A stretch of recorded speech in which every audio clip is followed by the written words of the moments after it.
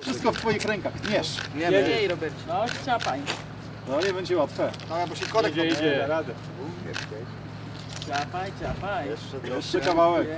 No ja na jednego taka robota to jest. Dokładnie, dokładnie. Ale dobrze idzie. Wszystko miało moc.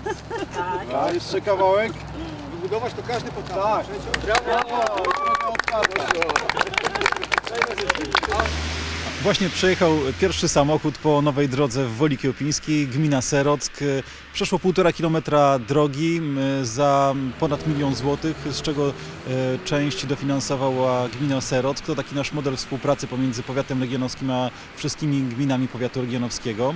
Bardzo się cieszymy, bo to była droga w złym stanie technicznym, y, ale też y, wybudowana we właściwym czasie, dlatego że najpierw została stworzona infrastruktura e, kanalizacyjna, dopiero potem e, weszliśmy z pełną tej drogi. Ja dziękuję panu staroście za to, że udało się tę drogę zrealizować, co prawda w 50%, bo to jest pierwszy etap e, zakończony, która kosztowała w sumie ponad milion złotych, ale jest wykonana w dobrym standardzie, jest drogą bezpieczną.